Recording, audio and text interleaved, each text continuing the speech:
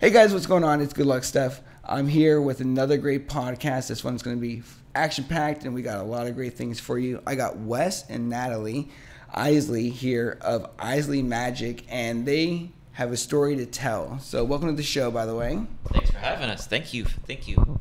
Awesome. so, we're going to dive deep into a little bit about their history, and you got some magic tricks for us. I got a whole table full of stuff over here ready to rock and roll, man. Perfect. Okay, so one of my first questions for you, for you guys are, you guys have had an incredible journey um, in the world of magic and entertainment. Can you share some of the moments or experiences that made you realize that this was the path that you wanted to take? Uh, this was the path I wanted to take since, boy, I was I was in high school. Let me. Should I start back and just start yeah, fresh? take us back. My dad owned a video store when I was a little boy. People don't know what video stores are nowadays. Uh, used to go to a movie library and check out a movie for 24 hours. My dad had one of those, and I loved horror movies and special effects, makeup, and I was studying art in high school, and I was all set to go to Art Institute of Pennsylvania. And my senior year, Terminator 2 came out, and I felt like my dreams were crushed. In my mind, I could see the writing on the wall. You're planning for the future, right? There isn't going to be there isn't going to be hands-on movie magic anymore. It's all going to be CGI. So that job's going to be gone. Yeah, they still offer the class at you know uh, Art Institute back in the '90s, but I didn't think that was the right thing. So um, I went to college for marketing, and I said I'm going to be a magician. I'd love magic since I was a little kid. I did magic. Everybody knew me in high school as the magic kid. You know, everybody wanted to see something new every time they saw me. I came up with a new trick every single day for class. So uh, I went to school for marketing so I could promote myself. So I knew pretty early on this is what I wanted to do, and there was no turning back. Perfect. And then, how did you guys meet? I was in college and I was waitressing at a restaurant that he was doing magic at. And um, he started showing me magic tricks and asked me out to dinner, and the rest is history. That's I awesome. never ever thought I would be a magician's wife. That never entered my mind, but it has been a fun ride.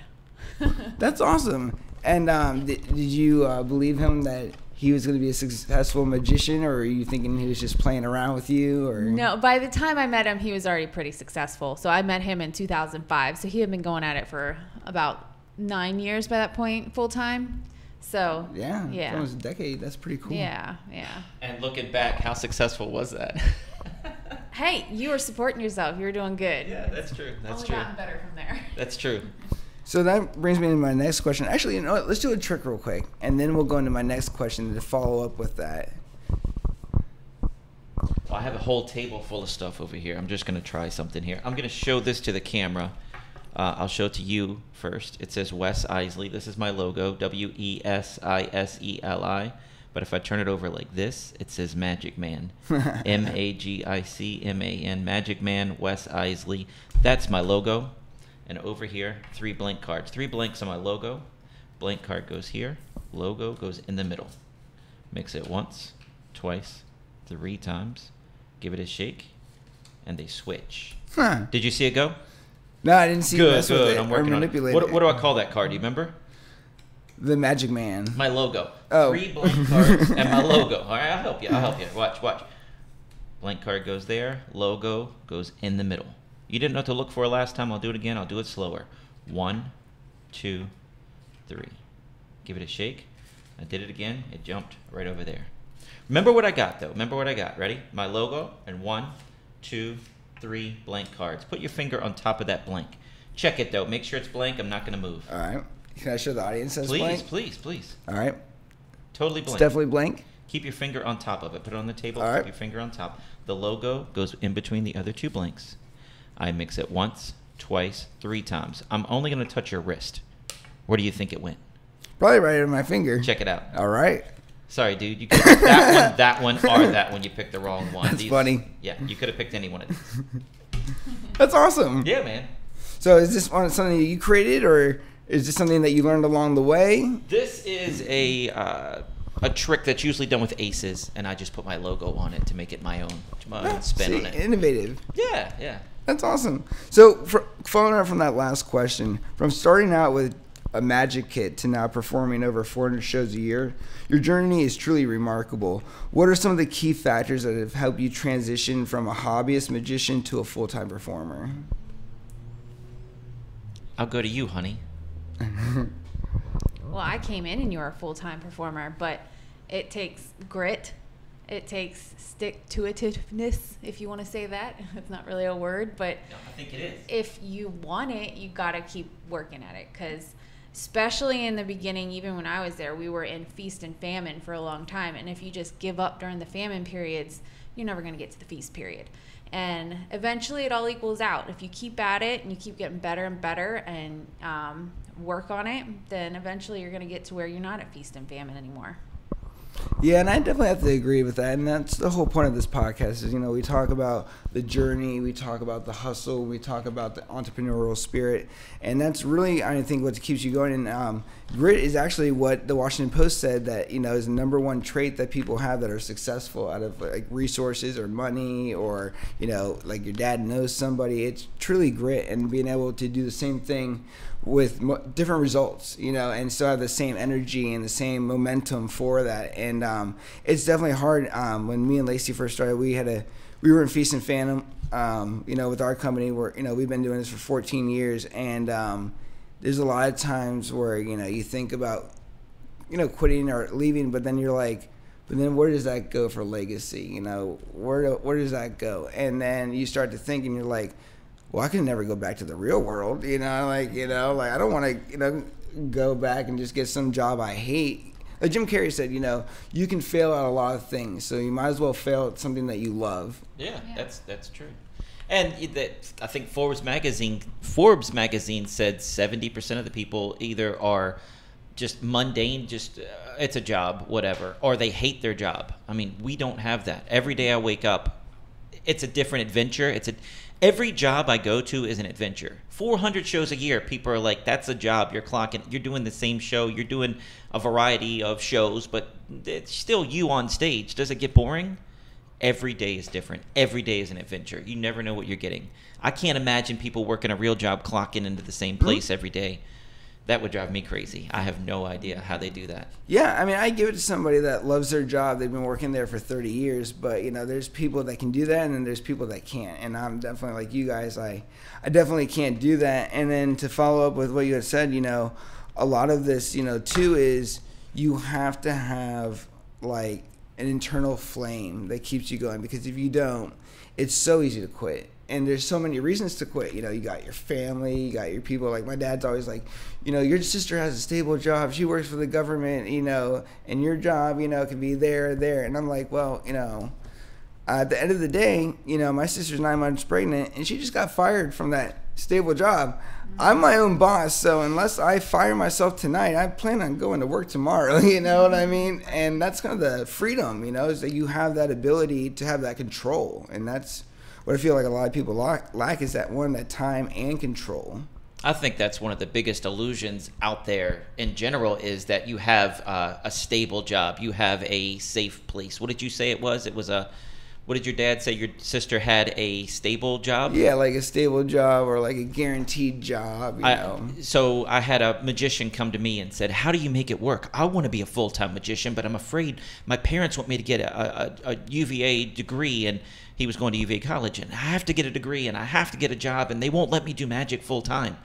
And I, and Joan Rivers had just died, and the guy that was her doctor was like the top doctor in New York City the day before Joan Rivers came in. That guy had job security. Joan Rivers came in, he's fired it's just it's there is no such thing as job security. How many nurses lost their job because they wouldn't get the jab during pandemic? Yeah. How many? I mean, it's just there is no thing. And you could you could be a nurse, and you get a new boss that just doesn't like you and makes your job miserable, so you quit. There's Yeah, and Job you have- security You have states crazy. like Virginia, which they don't need a reason to fire you. They could just decide to, and they don't have to give you a reason. You know what I mean? And that's that's the sucky part. You know what I mean? Like you're right. If somebody doesn't like you, guess what? They just take your job. yeah yeah, or give it to someone else.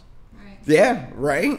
So let's talk a little bit, a little bit about uh, fooling Penn and Teller on their show "Fool Us," a remarkable achievement. Could you talk about the trick that you performed and the emotions you felt when you successfully fooled them? Because you were also asked after the trick um, to like kind of like prove it. Um, you know what I mean? Because they were kind of calling you out in a way. Well, kinda, kinda. So, You're talking about live on the air. He was like, Yeah, he's like, yeah, is that a yeah. gaff coin? Right. Yeah, yeah. Yeah. So, um, and that's the show. They try to guess how the trick is done. Uh, they love the trick so much. I'm getting to the end here, but they love the trick so much they actually bought the rights from me and they perform my trick in their show every single night in Las Vegas. Congratulations. And they mention my name on stage right before they perform it. So I can't say that's a dream come true. That's cooler than anything I could have imagined going there, right? But um, back in 2019, I was doing a restaurant. My wife would homeschool our daughter in the restaurant while I was doing tables, and um, I came back and had dinner with my family after after my gig at the restaurant, and I got an email that said Penn and Teller asking, and they sent it directly to me, and I'm like, what do I have? And I had that one trick that I'm trying to fool these guys, right? So I don't know what they know. Yeah, exactly. But I have this one trick in my show that I've been working on for years. I'll send them a video of that. And I had video of us performing in, in a theater show. And it was just great. It was from the back of the room. You could see everybody raising their hand and playing along. It was great footage. Even though it wasn't up close on me, it was great for what they needed. I sent the video while we had dinner. By the time I got home, which was a 45 minute drive, the producers were saying, Yeah, we love it. Now, how'd you do it? I'm like, Wait, I, I thought I was supposed to fool you. I, what do you mean, how did I do it? If I tell you how I did it, then I've already lost. They're like, no, the production company needs to know how you do it so that you don't say, nah, I did it the other way. Because some tricks have multiple endings, multiple outs. Yeah. So they have to know exactly how you do the trick. So as soon as I found that out, I was like, Bleh. I told them everything. They talked to Natalie, got everything booked. We were in Vegas before we knew it. It was pretty awesome. That's cool. Yeah, the whole thing was amazing. I remember being overwhelmed with joy. I just couldn't believe I'd fooled them. I had this trophy in my hand, and it was amazing. And I have to go to the hotel room, and I'm on top of the world, and I can't tell anybody. And my wife and daughter are still watching the show because there's other performers after me, so they're still in the theater for another hour after me. So I'm just sitting in the hotel room. I can't tell anybody. It was it was awesome, but it was the weirdest feeling I've ever had in my life. I can't call anybody. And the hotel room I'm in Vegas, they bought the room for me. No? The, so the the thing is, I was afraid the phone was bugged. I was afraid to tell anybody. Yeah, I didn't. right. I can't call anybody. I can't tell anybody I won. Like they're treating you so nice just so you might say something in your hotel room. But it's a two hundred fifty thousand dollar per occurrence that they can fine you if you tell anybody you won because it's a game show, and they can just pull your thing from the Mm. Oh, yeah, internet. and they don't win. I don't win. They can just pull it like I didn't win.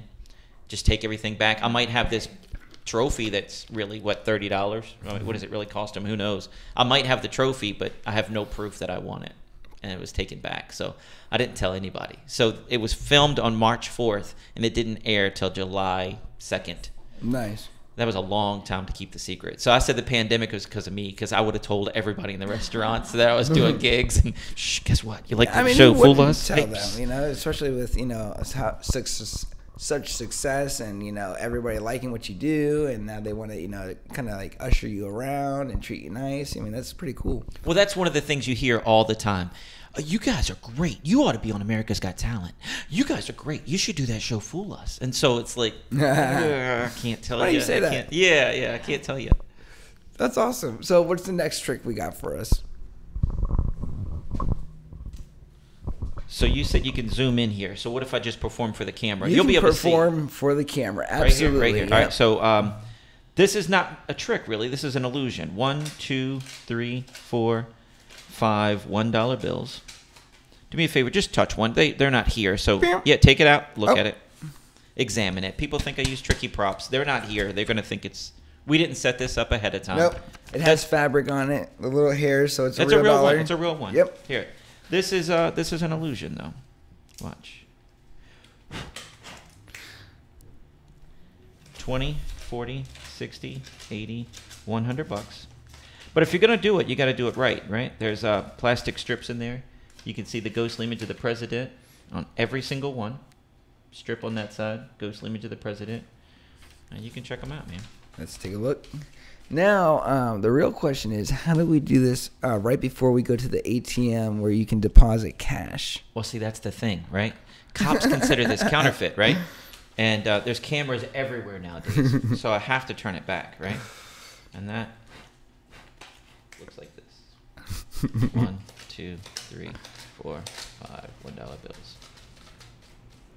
That is fantastic. Yeah, man. So uh, you had mentioned quickly. Um, what is the difference between a magic trick and an illusion? Well, in our line of work, an illusion is a big box trick where I put my wife in a box, make her vanish, she appears in the back of the audience, I make her float. So if you pay extra for an illusion, you're getting the big show, right? Um, some people, like the Christian side of magic, the Christian entertainers, right? The Fellowship of Christian Magician magicians, they don't like the word magic. So everything they do is an illusion right? So they're just, uh, in my opinion, they're muddying the waters of, hey, no, you're messing up everybody else's definition of the word.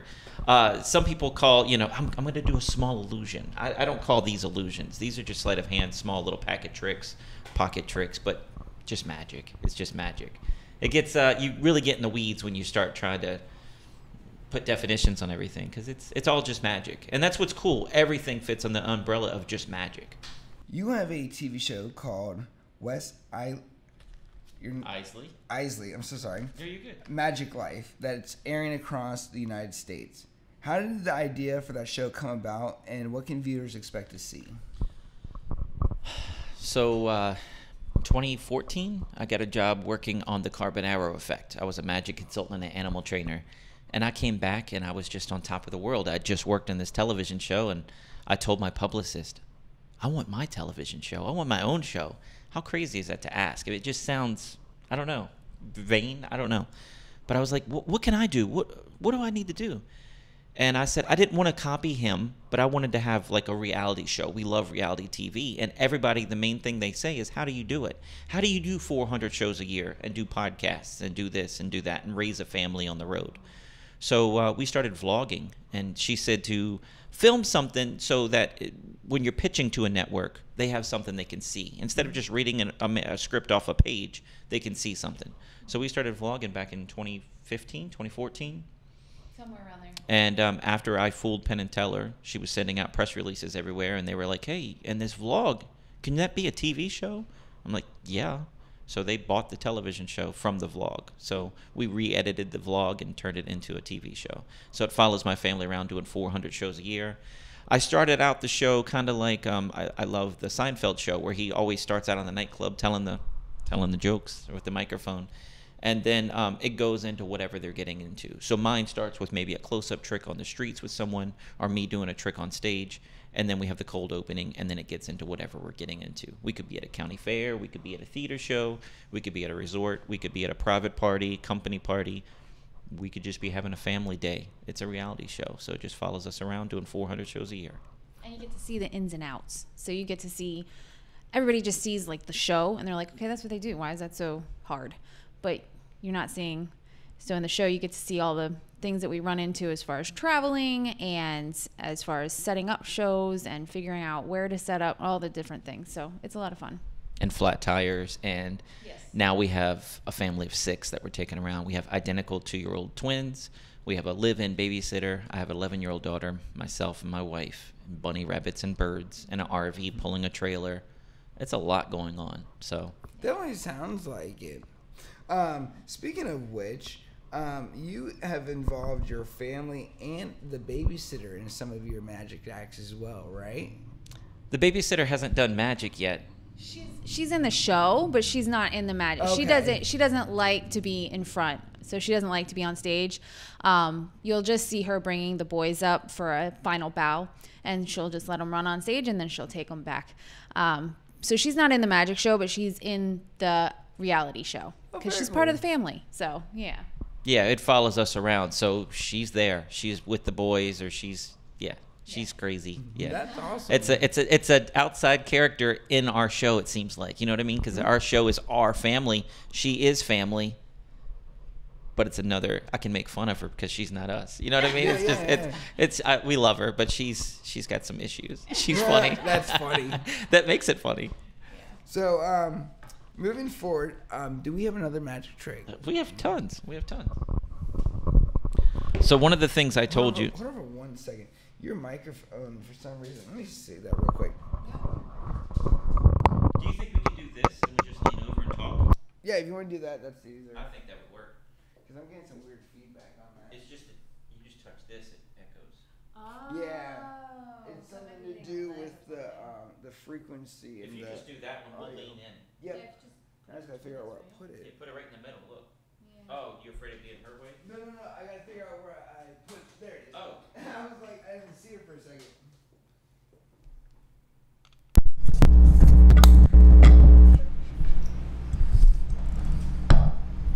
Hello, check. Oh, that's that's hot. That's good. Uh-huh. That's not bad at all. Hello, check, check, check. Hey, you can hear me too. Yeah, I think that's fine. Okay. We can lean up and talk if we have to. Yeah. And don't worry, he'll let me know if you can't hear me. Right, honey? Lean forward a little bit more. Are you serious? Seriously. I No, just you're gonna push me on my stool. I want you to lean forward just to hear how loud it gets. Hello. I can't hear how loud it gets, honey. I want to hear how loud it gets. Oh. So just test it. Hello, test, test, test. Hello, test, test, test. Hello, check, check, check. Hello, check, check, check. I think it's fine. You just Okay. lean, just lean forward when you're talking. Okay. All right. All right, we're good. Cool. He's like, these uh-huh. people are crazy. So I am not an audio guy. I'm not an audio engineer. We have all this stuff, and I really have a hard time setting her mic up. She Yeah. has this mousy voice, Testing. and it's hard to get her levels. So it, it bothers me. Bothers me. Um, which uh, what kind of audio device you guys using?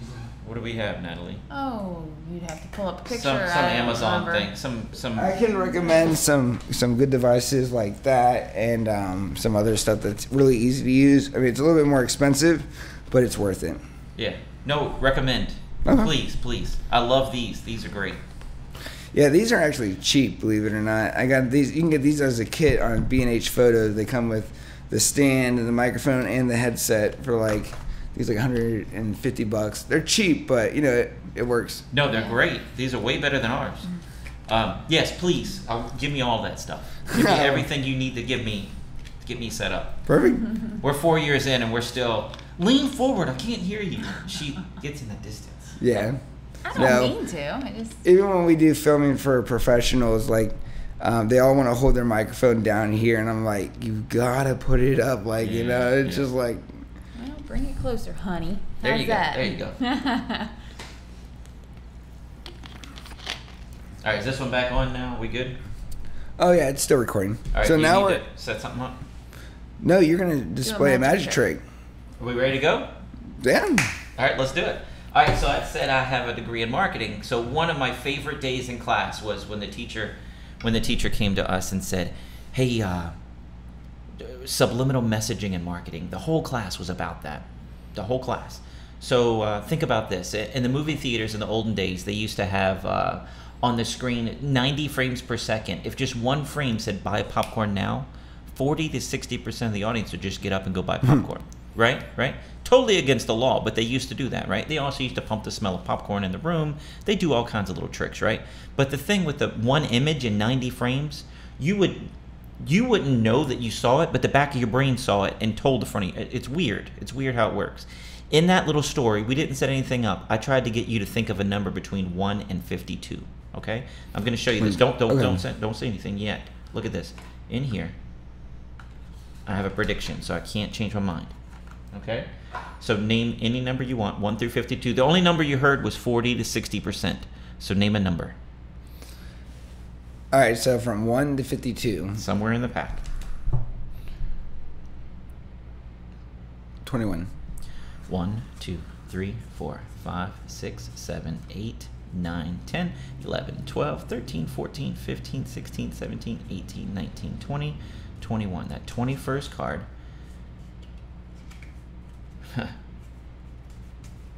Wait a second. Sorry.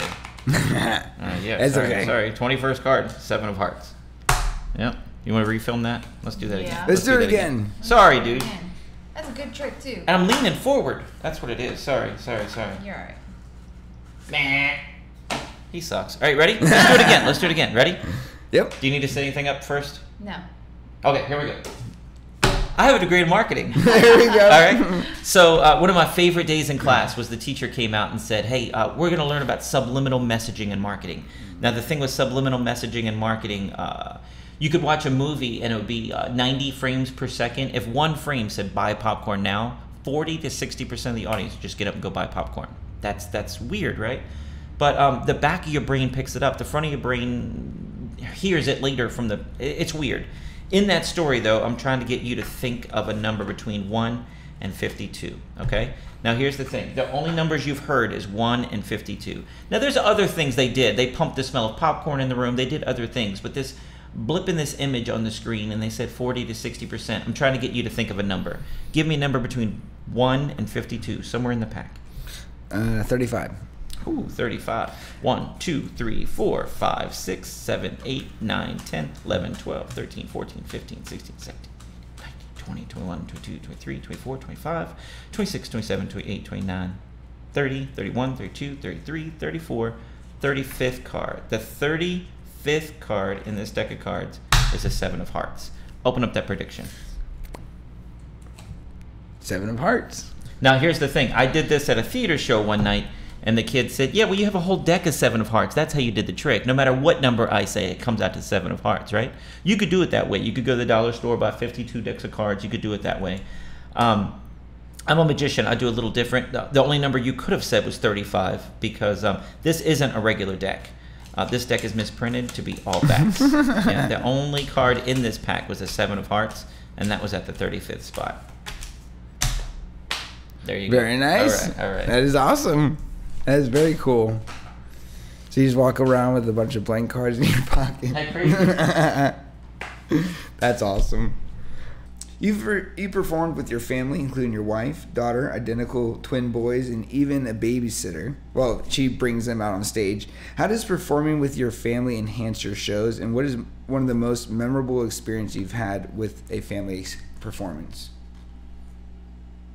Oh man, um, having the family with me on the road just it changes everything. I did it for 13 years by myself, and um, it brings joy to that monotony of the driving. We had a 19-hour workday last week, a 13-hour workday last week, and um, you know my mom's my mom used to always say misery loves company, and that drive is not fun. The, the show is amazing. I love that's one of my favorite places in the world to be is on stage, but I make the drive. I make the worst part of my job an adventure. So the kids are watching movies in the back. We'll stop along the way, stop at a park.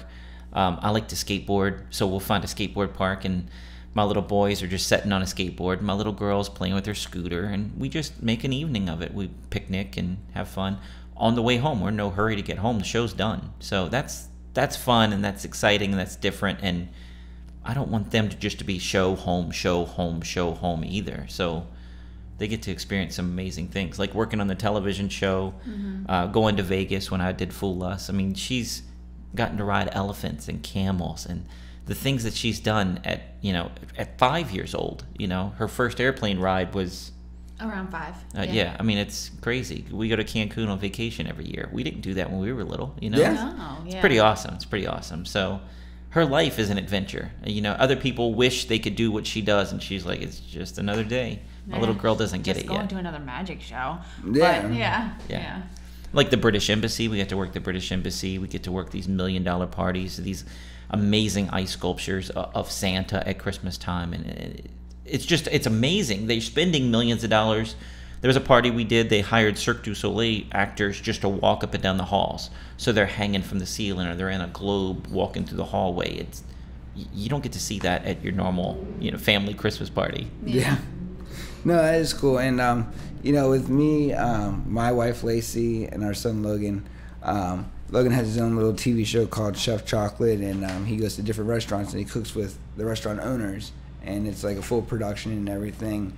And um, being you know family oriented and traveling around with your family on you know from different locations, from filming to you know just being at the house, you know I think it's also good for the kids too because it gets them out and I think it opens their mind a lot more than just like you know we were talking earlier about this like like there's average people and then there's extraordinary people you know what I mean? And um, there's nothing wrong with either one but I tend to think that you know when you can open up your mind and really see life differently and really you know be able to find something that you hone on to and then just be able to chase that all the way to the end um, I think there's something to that that um, it's, it's something you're born with. I don't think um, you it's a learned behavior, and if Right. it is, it's probably really hard to learn. You know, it's just like the inner calling. Like I I got to do this. It doesn't matter what happens or what the situation is or what we're looking at. Like I have to continue doing what I'm doing. You know. And I think it's really cool too with with our our kids and your your son. He's seeing his parents chase their dreams, not doing a job just because they have to have a job. They're doing a job that they love. And so that's going to encourage them to go after their dreams instead of settling for whatever pays the bills. Not just clocking in and clocking out. They're Right. actually living their dream. And Yeah. You go for your dreams because Yeah. it worked for dad. Exactly. Yeah. Yeah, and um, you know, Instagram has this voice that says, um, "One day your life will uh, flash before your eyes. Make sure it's worth watching." Mm-hmm. So, as we dive in, we now have the wonderful flavors of Always Flavored here.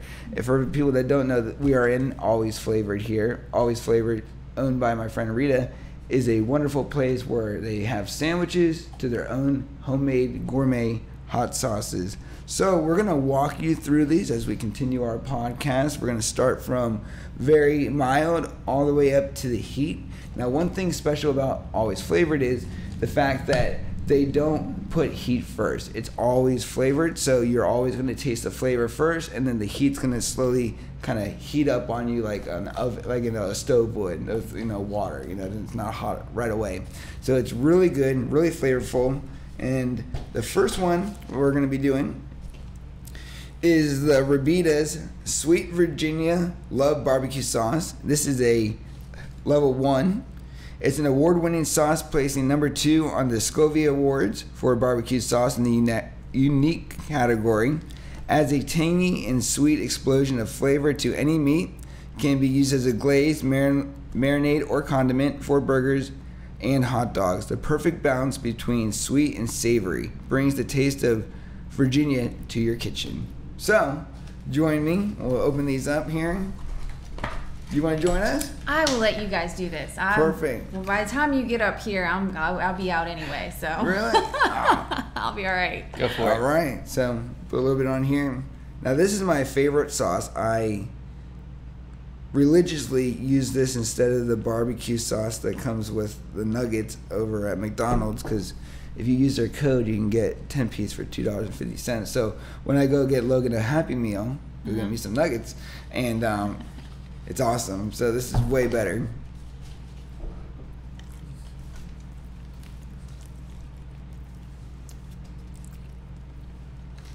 Is it good? It's good. Very good. Yeah, and like I said, what's really cool about Rita is she actually hand makes all of these. All of these are her own recipe, her own flavors, her own creations, and that's kind of what's cool is these aren't you know just your average sauces. These are made with love and consideration and definitely flavor in mind. So, as we move forward, let's see here. Over the years, you've used magic to make a positive impact through the Magic of Giving project. Can you share a heartwarming story about how this project has touched someone's life? Oh, there are so many. Um, I think the top one is the car. so there was a there was a family whose car had broken down. The lady had, uh, I think she was a single mom with two kids, and the little girl had like three heart transplants, and she was only like nine years old. Ten, yeah, something like that. and um, three heart transplants at 10 years old and their car had broken down they they they had no transportation. They couldn't take public transportation because she had the mask and all these problems. So um, we produced a car for her to keep uh, with the help of pepsi and with the help of the the car dealership and with the help of a whole bunch of people. Uh, we invited her out there and told her we were going to give her a loaner car. But we said we need to take a picture with her first and we had my banner with my name on it and everything and we held that up. And i produced a toy car for her and i said this is what we have for you well not this this and we dropped the banner and made a car appear Mhm. but i mean my memory of that and my what i say about that is long after that car is dead and gone that lady will never forget the day that that magician made a car appear for her to Mm. keep it's just something that's going to live forever but I mean, we visit the children's hospital every well, a regular hospital in the children's ward every Christmas. We go on Christmas Day. They try to get the kids out of the hospital at Christmas time. So if I can just patch them up, get them home at Christmas. If they have to come back, they have to come back. But go home for Christmas. So the kids that are there at Christmas, I feel like really need your love, right? They weren't even they couldn't get patched up. So we go room to room, and I do close up magic for them, and I give them a magic kit. And uh, we had a story. I'm gonna tell the story about the, the lights and everything. Okay. I, I was doing it at the bedside of the table. I walk in the room. I don't know anything. When I started in magic, 18 years old, my first like going out on my own, I worked King's Daughters Hospital in Virginia Beach, and a nurse just came over and said, "Hey, go see Tommy over there. He probably won't be here next week. He's got cancer real bad." Mm. Now with HIPAA laws, they don't tell you anything, so you just go mm. into the room cold, right? Ooh, okay. So I have to look over everything. So I go in the room and I say, "Hey," and they'll tell me his name, Bob, Tommy, whatever. Tommy sounds good. This is Tommy. He's 14, and you go in the room and you have to do calculations quick. Can he? Does he have two hands? Can he help me with a card trick? Do I just perform at him? Do I include him? Yeah. I'm gonna have to do all this real quick. I got in there. This kid, his eyes are rolled back in his head. He's got a trach tube in. Mm. He's out. They they've drugged him. He's out. So I immediately turned to the parents and I start performing for them and the little sister. And they started giggling. They started having a great time. And the dad follows me out of the room and puts his hand on my back and he says, I can't thank you enough. It's Christmas. I just found out last night my son's going to be paralyzed the rest of his life. He's sleigh riding. And it, Oh man, that's horrible. Oh my gosh. I mean, oh my gosh. Yeah. But he didn't think he could laugh and have fun at a moment like that. Mm-hmm. Yeah, it's that's kind of stuff. It just sticks with you. I'll never forget that family. I'll never forget that experience because I walked in there and I felt Natalie was with me videotaping. It felt like the room was cold when we walked in. Everybody's got their head down. Everybody's looking at Tommy, and I saw whites of his eyes. I mean, he was out, but his eyes were open. But the family, it felt like they turned up the heat in the room. It felt like the lights went up. I mean, just the whole energy of the room changed. And by the time I left, the dad walked out, and then he was crying with me in the hallway, telling me the story. It's stuff like that. You just never know what you're gonna get. Some some years we go at um how at Christmas time, and there'd be you know four kids at the hospital. Sometimes there's 37 kids, and it doesn't matter if there's two kids. You're uh, you're affecting them. You're giving them a special moment that can't be store bought. It's just it's amazing. Taking them out of their misery for a minute. Yeah. Me and Lacey did a big video project for a company or an organization, nonprofit called Only Make Believe, and they started in New York and they have offices here in uh, Washington D.C. We were working in partnership with uh, Children's Hospital, and um, they have the, something very similar. It's not magic, but what they do is they hire. Well, they don't hire. It's all volunteer work. They get actors and they do theater. So they put on plays and the same type of thing. You know, you watch these kids either. Um, sometimes you have to go to their room, or sometimes they'll be in like the hospital. Like we were in the Ryan Seacrest studio um, at the um, Children's Hospital, and all the children came down. You know, like, and we were at another school with them. But like you said, you know, you see these kids come in, they got like like you know they're walking with IV bags or you know they got stuff you know medical stuff all over them and they look sick and then you go in there and you know the power of like theater or magic or something like that you know and it just takes people away and you just you start to see all these people and they don't look sick anymore at during like during it they're dancing around they're moving you know and it just brings so much energy so you know it's a lot it's a lot more than just card tricks you know But that's mm-hmm. every show is like that though. You do a 5,000 seat auditorium. Somebody's parents have just passed away. yeah You yeah. take their mind away from that for a second. You know, I, I, my kid needs braces. That's going to cost me how much? I don't have that. My bills are tight this month. But for that hour and a half illusion show, that's all gone. You, we erase it. We just we shake that etch a sketch, and you're just going to have fun right now. Don't worry about that. Yeah. Reality will come back after the show. Right. and that's why I, that's why I think it's so important is to be able to make an impact like that, like something that you like you said, you know, when you donated that car, the car's gonna break down one day, and they'll probably sell it or just wind up in a junkyard. But that memory, you know what I mean? That one day they remember, you know, and I think that's the most important thing. So, what else is important is moving forward to our next hot sauce, which is the Rabita's mild hot sauce. This is award winning sauce claiming number two in the Scovie Awards for prepared sauce category. Delivers a delightful kick without an overpowering the dish, dish the dish's essence. Crafted with a blend of jalapenos, serranos, and long chilies, Versatile sauce, perfect for Mexican and Mediterranean dishes. All natural ingredients, gluten free, and free pr- from preservatives. I'll let you go first. Jalapenos. Yeah, and now, like like um, what I was saying earlier, is you're gonna notice flavor and then the slow amount of heat, and that's really what I love about this is um, you get that. Oops, well now the other one's gonna taste like that too. I'm gonna do it over here. Mm-hmm.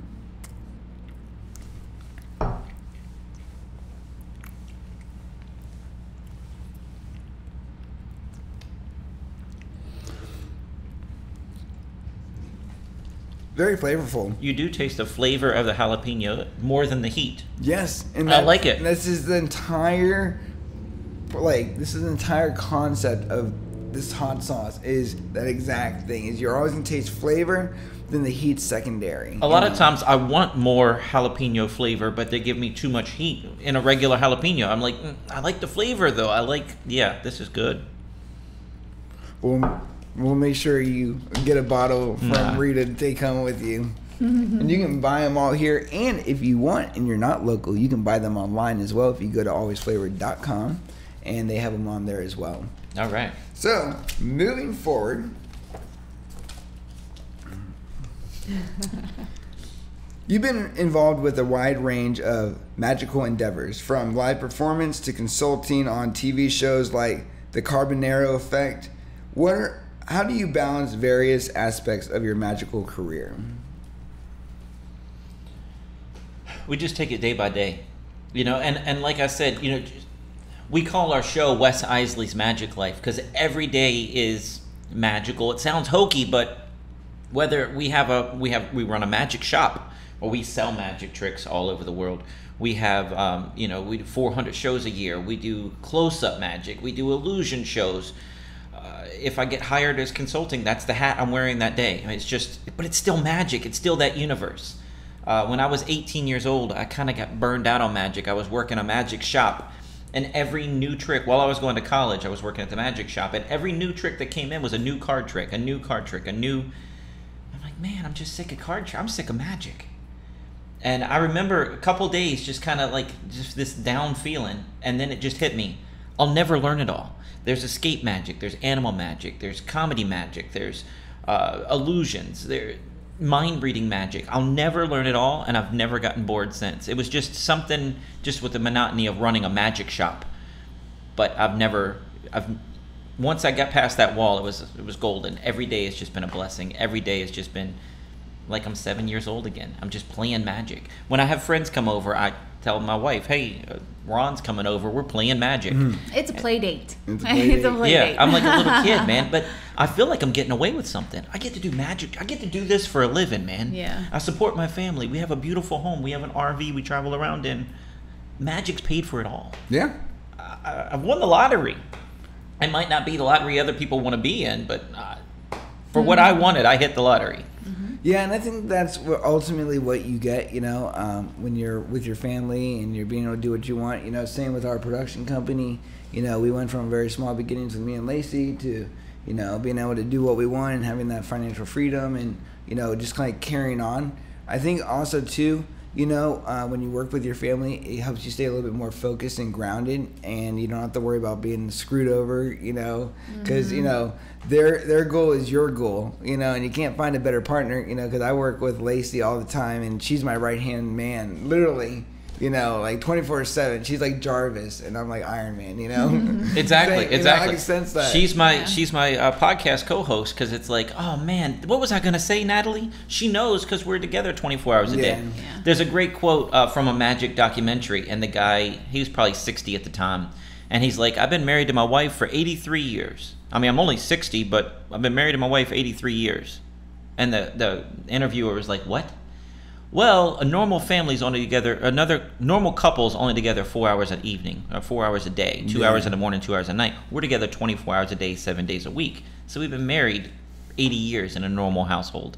So my wife and I have the same situation. It's 24 hours a day, seven days a week. We're always together. So Yep. yeah, And same with our son, um, Lacey. She also homeschools. Uh, She's been doing that since the beginning of time. And um, same with us. We're together 24 7. There is no degree of separation. You know, it's always on the go. But, you know, you made a good point earlier, too, is even with, you know, video production and working with clients, you know, yes, it's the same thing day after day after day, you know, because we do consulting as well. You know, obviously, you know, we do full production. But, you know, at the same time, I like you feel the same sense that sometimes I feel like I'm robbing people. Like, you know, like you're asking me to hold a camera and make this video and you know, this is you know, this is for me. This is just doing something that I love to do. So it's kind of like, you know, like you guys hate your job. You know, I like mine. You know, you kind of keep your head down and not smile too much. Let them know you enjoy it. Does Lacey talk to the clients? Does Oh, Lacey do the booking for you? She has to do the booking for me because I would do it all for free. Yeah. So yeah, Yeah. exactly. So um, everybody that has ever been friends with me or knows Lacey has always said that Lacey needs to be the boss and I need to be the creative mind and let her do all the work. And Lacey does that. So she takes care of everything from scheduling to talking with clients to actual shooting. Like so before Logan was born, every time we would have a shoot, Lacey had a camera in her hand and she was with me. So, you know, she's all spectrums, you know, and all my businesses. So it's not just, you know, GoodLuckStef. We have four other companies and, you know, ride or die type thing. And that's what you got to have to be successful. I think, you know, you need people to believe in you and you also need to be surrounded by people who really want the best for you, you know, because the people you hang around with or associate with, you know, if they if they don't love what you, they like one of the celebrities said you know the three rules that he has is one of them is when you walk into a room everybody should light up you know and if you don't have that sense like with your kids or your family or your wife you know you really need to get around people because people can destroy your dreams not you you know what i mean and you know you run into situations like that Well, nobody thought I'd make it as a magician because I mean, they who have no. There's no guideline for that. They're- Exactly. and now, all right, you have a family. How are you going to do that? We got to figure it out. I don't, I'm not stopping. We got to figure it out. Yeah. Yeah. Yeah, now we have twins. often. Now we have twins. Yeah. How we do that? We bought an RV because I don't know how else to do it. I mean, we got a potty train on the road because I don't know how else to do it. Hmm. right. I mean, that's a that's an adventure that hasn't happened yet, but we're dreading it. And Well, not with boys anyway. right, right. This is gonna be crazy. well what else is crazy is this next hot sauce we got coming up here Good segue. which is the Rabita's hot sauce, authentic flavor made with habaneros, red chili peppers, and serranos. Not overly spicy, allowing you to enjoy the honey, allowing you to enjoy its authentic flavor. Great on everything, versatile for various dishes, offers a delight balance of heat and flavor. A hot sauce like no other. Love. Here, lay down. Come on. All the way down. Come on. Down. Good girl. All right. She says you're talking about food over there. I can smell that food. Imagine how much she smells this chicken. I know. She's doing good. She's a sweetheart. Oh, I guess I didn't haven't opened this one yet.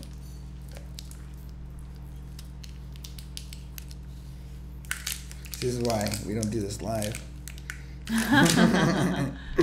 we'll be back after these commercials. All right.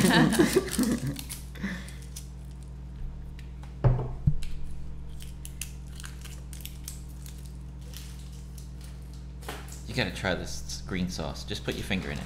It doesn't have any heat. Jalapenos. It doesn't have any heat. I don't like jalapenos. Oh, it's just the jalapeno flavor. I know. I know you dipping your finger in it. No, she won't do that either.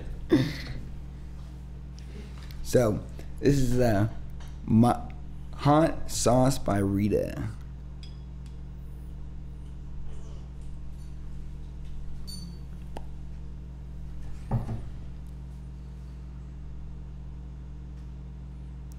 Yeah, the ones that they get like the hotter heat have like the restrictor plate on it. The ones with low heat don't. There you go. The restrictor plate. I want a lot of sauce. That's my problem. mm, me too. Whether it's hot or not. You end up with hiccups. Mm-hmm. So we are on number three on the heat scale right now.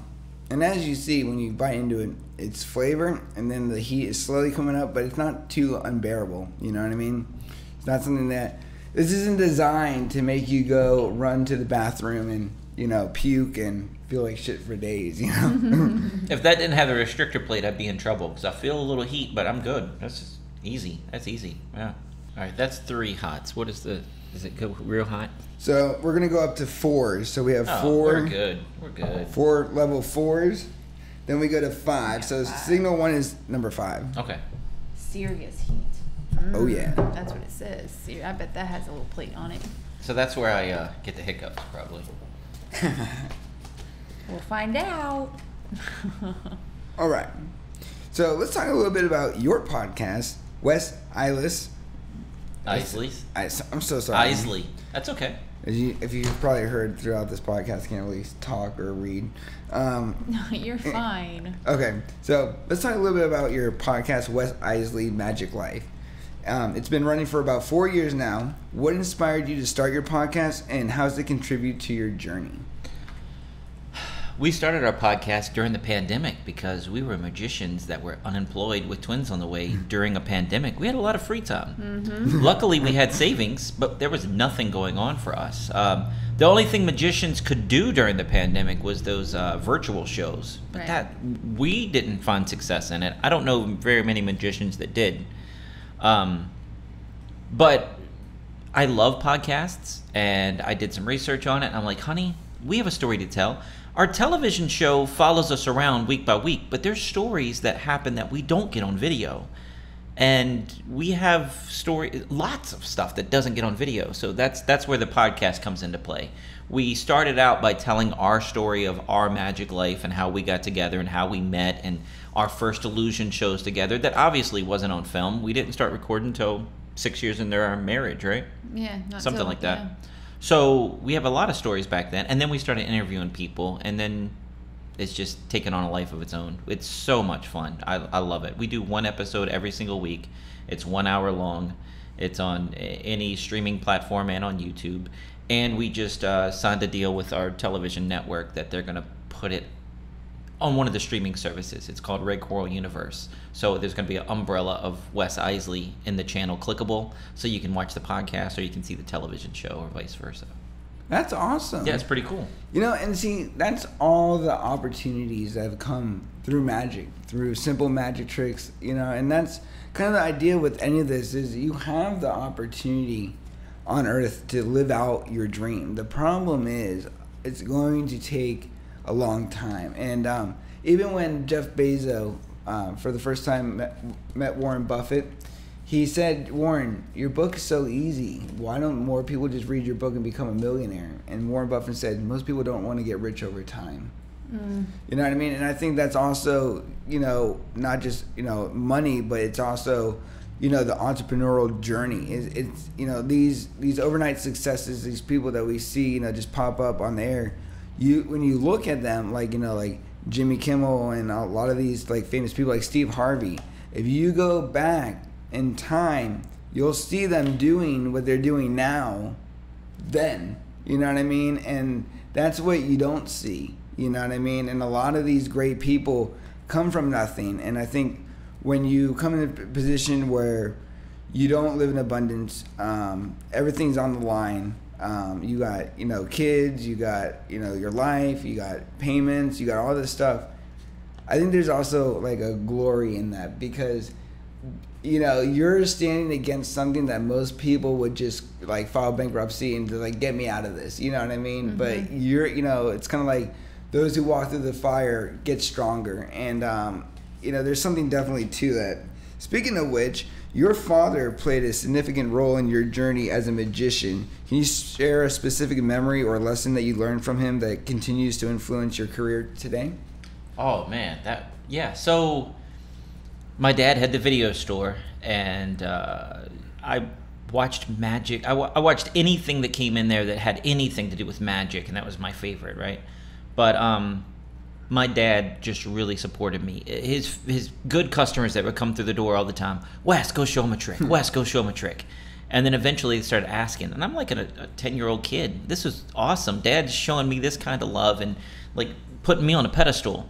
And then as you know, I'm a teenager trying to make it through the world, going to college, working in a magic shop. my mom's like, "What are you gonna do for a real job? What are you gonna do for a real job?" Yeah, she worked. She was a nurse at UVA. Uh, at UVA, so um, she was like, uh, "You know, they're hiring in the X-ray department. You could." You have 401k. I think you have, you know, one of those stable jobs. And Yeah. I'm like, I don't want that, mom. I don't want that. So, uh, dad would slip me money under the table and take care of me and support me. And, you know, he was he was my biggest fan, man. I wouldn't. I don't know if I'd be here today doing this. I, I feel like I would because I'm stubborn and I love my job so much. But my dad definitely helped me so much get where I am today, just because he gave me that support and that back, you know, that stick to itness.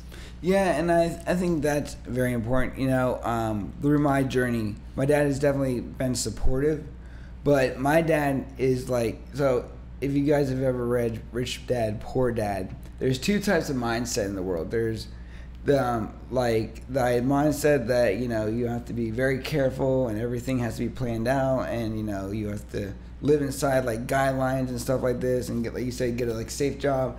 And then there's the thought of but what if there's more? You know what I mean? And um, my dad, who's a very very smart person, um, lives inside that lifestyle of like the poor thing, where it's like, well, you know, they have 401k and they have benefits, and you can do this and you can do that, and it's just like, but what if that's not what I want? And like if you look at like um, Kevin Leary, he says that a paycheck is what they give you to forget about your dream. A salary. Yeah. A salary. Yeah, yeah. You know a what I mean? paycheck, Yeah. yeah. and it's so easy, you know. And that I've said this in the other podcast too, but that's why they say the graveyard is the richest places in the world because there you can find ideas and inventions and thoughts and creations that never came to light that died with these people because they just they didn't have what it took to make it you know real. And I think too, you know, with Logan, um, my son.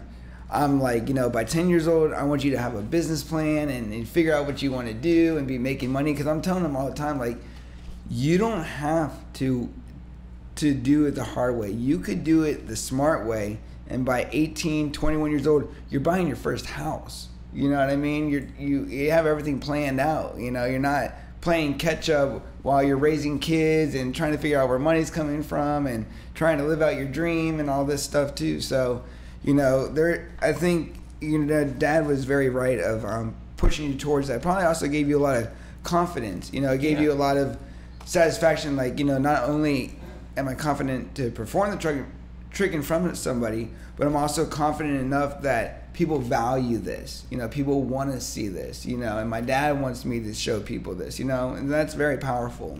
It wasn't just a cute kid thing. It was watch what my kid can do. This is awesome, right? Yeah, very But you were talking about the the graveyard. It's also just like you have. We have a great support system. So when we try something, she reels me back in in some projects. Like, Hmm. oh, that's too far. You, that's too far off the diving board. You're too close to the ledge.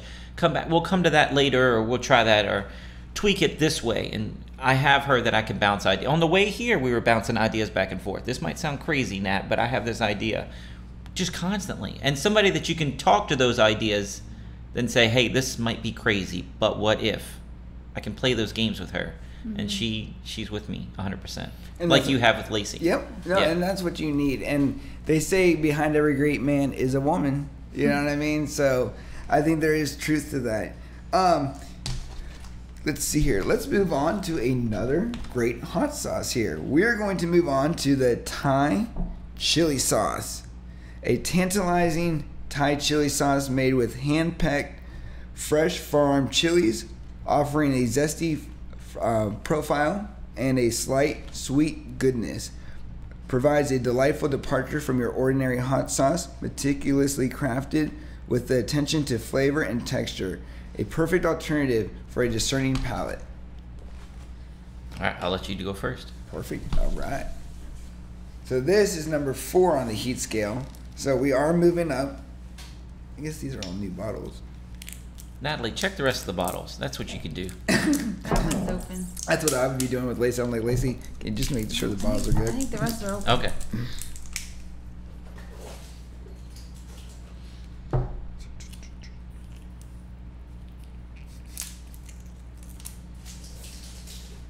All right. See, this one doesn't have a restrictor cap, but it should. I'm just kidding. But we're four? Yep. No, uh, is that a four? Yep. Okay. Honey, uh, down. All the way. Come on. I'll save some chicken for you, but all the way. Come on. Down. All right, here we go. You doused the four. Good girl. All right. You ready? Here we go.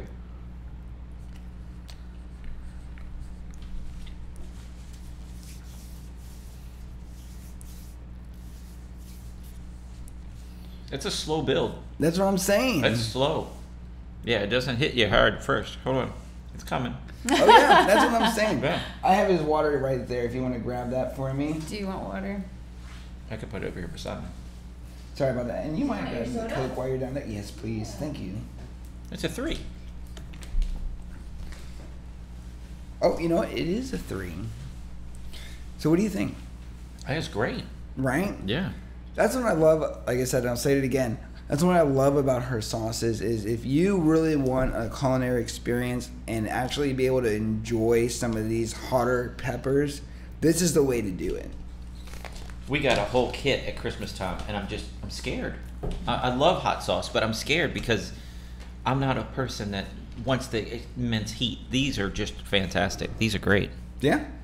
No, they are. And um, what's also cool too, and you know, it's all about following your dream. This is somebody's dream. This is you know, and now it's come to life. It's a real product. You know what I mean? And that's the byproduct of believing is all of this. You know what I mean? This is somebody's creation, and we're now we're a part of it somehow. So, moving on. Let's see here. You've emph- em- um, you've emphasized the importance of staying humble and authentic, regardless of fame or success. Can you share an experiment or experience where this lesson became especially relevant in your life? I'll let you take that one. I don't know. I think from watching other people, um, you see other people who have magic shows or whatever, and you watch how they treat people coming up. Um, I know there was one magic show that we watched. Um, I won't say who it is, but there was a little boy that you could just see. He was a little Wes. He loved magic. He was so excited to meet this magician, and he got up there to take a picture, and the magician was just kind of gruff and rude and took a picture. And When the mom went to take a picture, he was putting his hand over the kid's face to do Yeah. this, and the mom got a picture of this. right. Wow. So she and so said, she asked to take it again, and he was like, "Ugh," and he did it. But I mean, and I just saw the bubble burst in that little boy, and so that made me very. I I watch what how we treat people. Anybody who comes up, I don't care how tired you are. I don't care if they waited and you know the line has gone through and you're halfway done packing up your show and they come up and they want to meet you. You're nice. Yeah. And you know, if somebody's waiting off to the side and Wes is just talking with a friend that just came to the show, I'll just tap him and say, "Hey, this little kid right here, he really wants to talk to you." And he'll be like, "Oh my goodness, I'm so sorry." Yeah, and he'll give him full attention. And so it's just from watching other people and seeing the reactions that they've gotten. And I don't want that type of reaction. Yeah. I want to build somebody up instead of burst their bubble.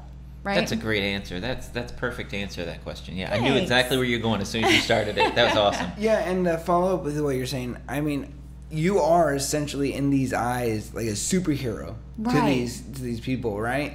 So it's like if Superman was like drunk and you're like, wait a minute, you're not, you don't act like Superman. You don't Right. even look like Superman. Why do I even like you anymore? Why would I even like superheroes? You know what I mean? It could really throw somebody off, you know. And I also think too, as a performer, you know that is your job description as an entertainer. So it, when you're out in public, you're on the spot. You know what I mm-hmm. mean? People expect you to be whoever you are. You know what I mean? You kind of have to be cool with that. You know, because that's a good way to you know shoot yourself in the foot. And your client, you know, your client base, in your case, your fan base is everything. That's what makes you. You know, and you see so many of these people who um, have reality shows and now and then they get into po- political stance and then they lose everything you know because they started upsetting people based on you know who they truly are and unfortunately in this world, not everybody that's great on TV is a great person in real life. You yeah, know. I hate it when people say never meet your hero. That just that hurts my heart. You know what I mean? Like you look up to somebody, you're like, wow, they seem like they would be a really cool person in real life, and then you meet them and your bubble is burst. And it's like, I don't want that for anybody who is looking at Wes or even me or even our kids and is like, wow, I really want to meet them. I want to be like, oh, I met them and they were awesome. You know, Yeah. I, that's, yeah. We're constantly teaching our kids, our babysitter. We haven't started teaching the babies yet because they're only two, but their eyes are on them the entire time. People mm-hmm. recognize me in public. That's Wes's kids. I remember when my little girl was like four that my wife took a picture in the audience and my little girl was scratching her nose. I don't think she was picking her nose, but the camera got the picture here. She was off stage. She wasn't performing, but she was in the eyesight of the camera. Somebody can see you, honey. When you're out front of that curtain, you're on. Yep. Whether you're picking up a piece of cardboard off the floor, a card off the floor, whether you're doing anything, eyes are on you. Whether everybody's focused on me and I'm juggling, I'm doing something amazing, I have a bunny in my hand, there's people watching you. Yeah. So act right. Um, I, I can't have her being sad. I told her, I told my wife before we even had her, I've seen magicians or, or jugglers or Any performer. uh, yeah, any performer that has their teenagers up there and your dad. And you know, at a county fair where they have the family act and they get to be that teenage age. And I told my little girl, you don't have to be in the show. We're not making you do this. You do have to come with us. Yeah. Right? But you don't have to be in the show. If you're not happy, you're not in the show. And I don't want a, I don't want that. I don't want the audience to see that and I don't want that for her. So we were very open with that. But I showed her that picture and I said, I don't know what you were doing, but it looks like you're picking your nose, honey. Mm-hmm. we have to, yeah, you- you're on. You're on. From the minute you pull up at the location of the show to the minute you leave. And I have to tell my babysitter that too. Because she'll be on the phone and the kids are running around. Well, people walk by, it doesn't look like she's babysitting them. No. No. Right. That's, that's what the eyes see. So we have to let her know that too. So we're constantly Right. teaching people about show business and people are watching. Yeah. No, and I and I definitely agree. And even with production, you know, um, I've had people that I've hired um, come on, you know, for like 1099s for extra work, and like some people just they are they show that they are they could rather be doing something else other than this, and it's like. And you make a good point. You know, everybody's watching, but two, also that subconsciously is going to affect you because you're going to look over and you're going to get upset, and then you're going to have to like think split second, like think, okay, and well, I'm still in front of people, but now I'm I'm really upset with what's going on, on the side because now everybody, I know people are looking over there. So you know, for you as an artist, you know, you need to have an A team that is is totally aligned, believes just like you do, because if not. Um, different mindsets can throw things off you know? It's like telling your enemy your like your secrets you know? Like that can that can be damaging especially for the non-believers you know? Right, right. people who think that it's dumb. And also you know to those kids you know they don't understand what you understand now that it could take you there. But they don't see it like that because they're not in, you know informed on the level of possibilities over, over that and i think also that's society's problem too because you know in the school system you know you want to be like everybody else you want to be good you want to like steve jobs says you want to stay inside the lines not make too much mm-hmm. noise and i think it's the exact opposite. To be successful in life you need to know yourself and you need to know what you love to do because if you don't then why, how's it going to get better? Why would you care to make your product better or make your show better or to care to you know make sure that you're nice to every single person? You wouldn't you know there's nothing right. Nothing stopping you from you know being like that Yeah, if I worked a regular job, I was working Walmart, I wouldn't care how I looked. I wouldn't care how I acted. Oh, it just it wouldn't matter. Hmm. It doesn't Yeah. matter. You could be a jerk to anybody anytime, 24 hours. Doesn't there's no repercussion for that. Doesn't matter. well let's talk about something that does matter You're great transitions, dude. You're doing great. You're doing great. the Brady's Tequila Sunrise. This is a collaboration with 96.9 The Rock using Sunrise Scorpion peppers, smoked ghost peppers, agave tequila, balanced with dried cherries, orange juice for the perfect blend of heat and flavor. Inspired by music and created with a touch of creativity. Intense heat combines with enjoyable, enjoyable fruity flavors as a unique twist to your culinary creations. And what's cool about this is um, when they did the collaboration, the main guy there, he actually picked all most of all of this stuff, and then Rita actually worked with him to bring his sauce to life. So this is his vision with always flavored delivery. You know what I mean? So it's gonna be good. And what's cool is when you do taste this, you are going to taste the tequila. You know, a lot of times they say, "Oh, it has bourbon or alcohol in it," and you're like, "Well, I didn't taste any of it. You know, it must have been cooked into it." When you bite into this, you're gonna taste the tequila. Got my finger.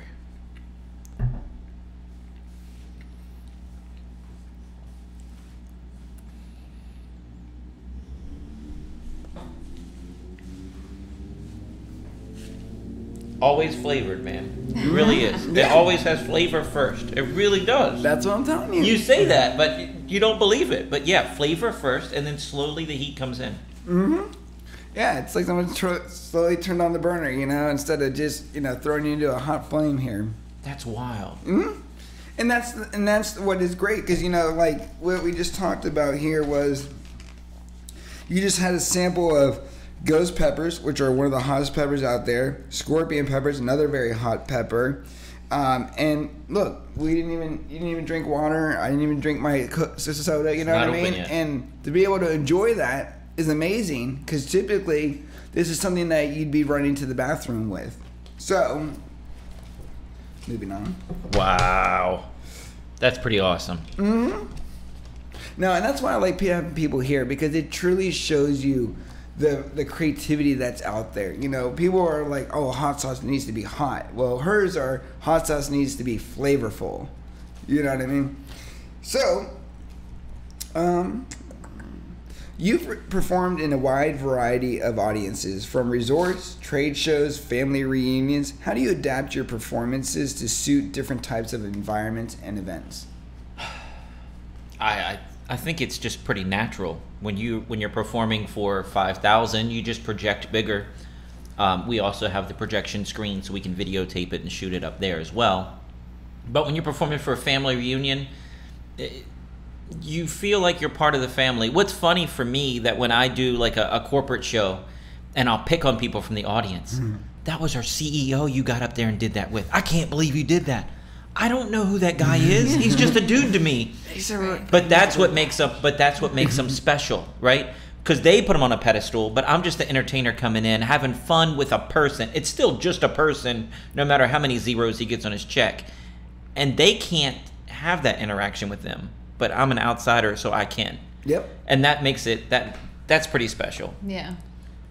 And I think you know, too, um, you know, in business as a business owner, that's one of the cool things that you do get, and that's kind of think one of the the attractive things about being a business owner is one, you're seen differently, and two, you get to have relationships with different people. Like me with Rita, you know, I get to have my podcast at her restaurant because I'm friends with her and she's the owner of this place. You know, it allows those opportunities to really, you know, set in because you're right. You don't work for them. You know what I mean? You were hired here, so this is part of your gig. This is what they paid you to be for. So Right. if they get upset, well, I'm sorry. You Yeah, know, yeah. Next, make them wear a badge next time. Shit, you know, like goddamn. No, but they don't. They don't get upset, and the it, they they just usually say, "I can't believe you did that." You know who that guy was? No, I don't know who that guy was. Just a dude from the audience. I don't know. Yeah, That's awesome. pretty. Aw- it's fun. It's fun. So, um, let's see here. As someone who's experienced the highs and lows of showbiz, what advice do you have for aspiring magicians or illusionists um, who are just starting a journey? marketing, business. You could have. There are magicians that there's something called the uh, FISM, which is the Federation International Society of Magicians. FISM is the Olympics of magic. It's held in a foreign country every four years. There, I would say, 95% of the winners aren't full-time magicians Oh wow. They're the best magicians in the world. But either they don't know how to market their product, they only have eight minutes, so they can't do a full evening show. They only have an amazing eight minutes, or they're just hobbyists to begin with, or they don't know how to market their product. There are people making great money in music and in magic, or lots of industries that aren't that great. yeah, But yeah, they have a true. great they have a great people behind them. They have a great system in place to get their marketing out there to get those gigs booked, right? And then there are people that have both. They have a great show and great system behind them to get them going. 400 shows a year is what we do, what we average, and people are like, "Wow, what, what are you what are you working on now? Booking next year?" Yep. I mean, that's it. yeah. I mean, that, yeah, yeah. No, and that's cool. Um, I also feel like too, you know, people I assume that well, you're you're you're a magician, so you must have a lot of time on your hands. You can't be that busy. And what people don't realize is once you get really involved with your hobby, you're nothing but busy. And you know, also too is you got to focus on not only be just being busy, but also being productive. And those are two different things as well. You know, you can be busy all the time and still not be making any money or making things happen. You know, so I think you know people when they look at you, um, you know, from the outside in, they probably wonder like, is it all real? You know, can you have that financial freedom? And then they look at you, but I think a lot of people when they do look at other people like that, they're looking at the wrong things. You know what I mean? They got to backtrack. Okay, well, where do these people come from? How long has somebody been doing something? You know, what have they done to get themselves to that level? And I think that's a lot of the things that, you know, um, my advice for entrepreneurs would be is do your research. Look at some of these people. Look how long they've actually been doing this. Like a lot of these talk show hosts, they were doing this back in the 90s, early 80s. You know what I mean? Long, long time. And now they're just in the limelight. So, eh, eh, when we were booking this, how how much was I on the phone? Like, what else do you need? What else do you need? I was up for this. Before podcast came out, I was doing radio, television spots anytime I could. We don't like getting up at four in the morning, but if you if you want to hire me for a TV morning spot, I'm there. I'm up and I'm there. And podcast is that, but it's long form. You don't have 30 seconds. You're getting up at four in the morning, driving an hour and a half to do a television spot that's maybe four minutes. yeah. You know what I mean? This you people really get to know you, and uh, I don't know where we were at, where we were going with that, but man, I'm I'm just love this. I, I'm just so excited. Oh, that's awesome. Where we are going is our next hot sauce. All right, I, that was okay. That was okay transition. All right. All right. So this means another hot sauce. So we've got the Wrath of Rita. You know they say Uh-oh. hell has no fury like a, wor- a woman scorned, right? So with the Wrath of Rita, we have a sensational blend of Carolina Reapers, Ghost Reapers, habanero peppers, masterfully combined with ripe mangoes and pineapples for a fruit-infused heat. Delivers an unforgettable journey for your palate, the perfect balance between intense heat and mouth-watering fruitness. Unleashes limitless possibilities and adds a fiery edge to any dish. So I haven't met Rita. There's no pictures of her in here, but I imagine her a sweet little lady. So how bad could her wrath really be? Oh. No, Ra- Rita's a badass, and she's I'll let you go first. And we should just like post a picture like right now of her. Yeah. All right.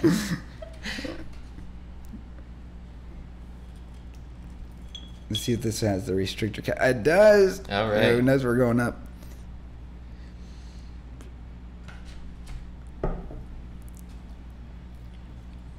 Watching how much you put on there. I'm gonna do it, man. If I'm gonna do it, I'm gonna do it.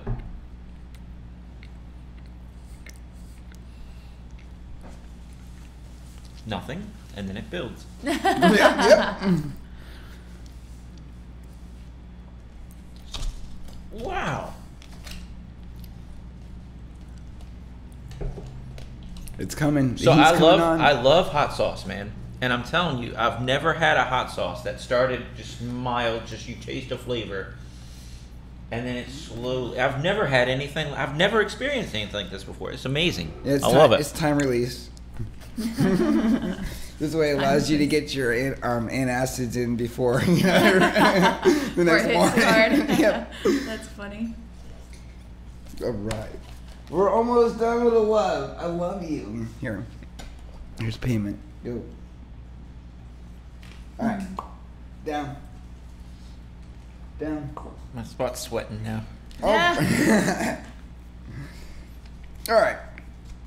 Your dedication to charity work, like raising money for the Children's Miracle Network and your Magic of Giving project, is inspiring. How do you find a balance between your career and um, philanthropy efforts?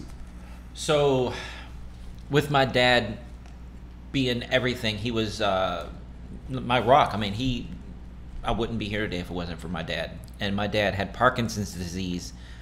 He got diagnosed when I was seven. So I saw my dad go from a strong guy to he was walking hunched over. Um, he didn't have the shakes, but you couldn't read his handwriting. He mumbled when he talked. It's you have to project and you have to use muscles, and it deteriorates muscles. So to project, it's hard. So he mumbled and walked hunched over.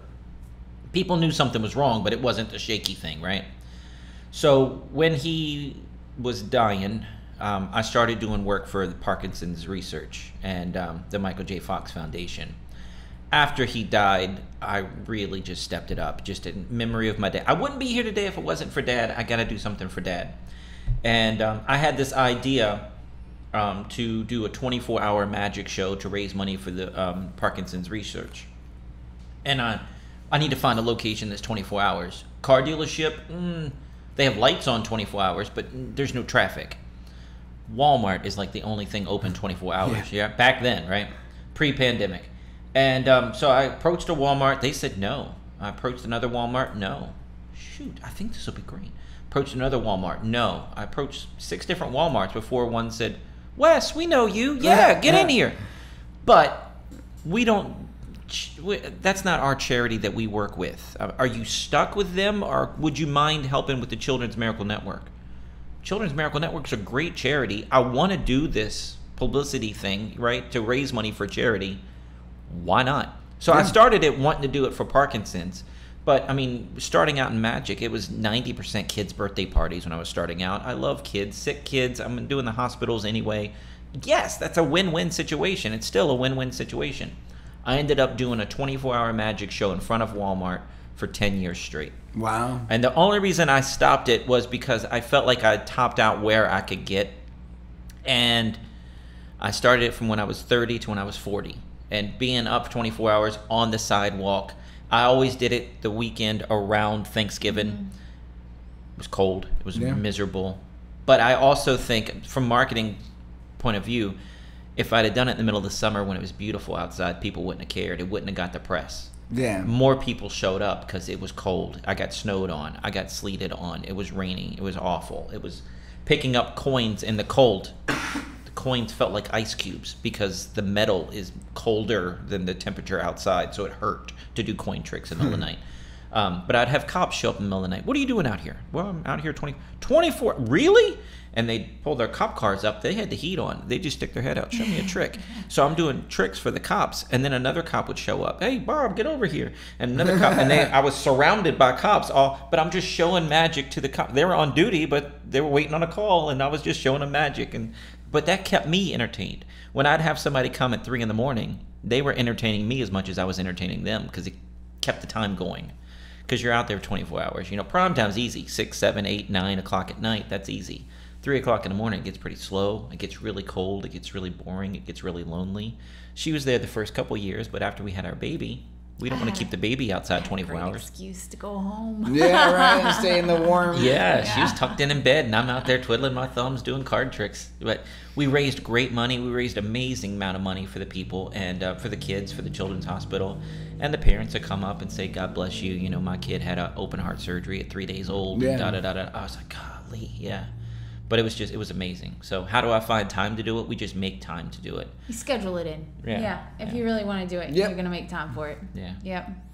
Yeah, and we get a question like, you know, that same with us. It's like, how do you have time to do it? Well, if you just love what you do, it gets done. Right. You know. And exactly. the charity stuff, it, it just it, it lives on. It keeps going. And that memory of that dad patting me on the back and saying, "I can't believe you had that effect on us. We just found out my kid was paralyzed." I'll never forget that. You know, I know I affected them that day. Charity work goes both ways. You're helping them, but you're really getting something back too. So yeah. it's yeah. You really do. You feel yeah. you. You're like the the Grinch. Your heart feels like it's yes. full when you leave. It really yeah. does. Mm-hmm. Yeah. I know that feeling very very well. All right. If you could offer a single piece of advice to someone looking to pursue their passion and turn it into a successful career, what would it be? Stay focused. Don't let other people tell you what you can and can't do. You know what you can do. Mm-hmm. And, you know, Be honest with yourself. Yep. Um, you know, I know I can jump from here across the street. Do you know that? Hmm. Is there steps? I mean, do you have a guideline? Do you you don't have a guideline? Figure out a guideline, but do that yourself. You don't have to tell everybody your dreams, you know.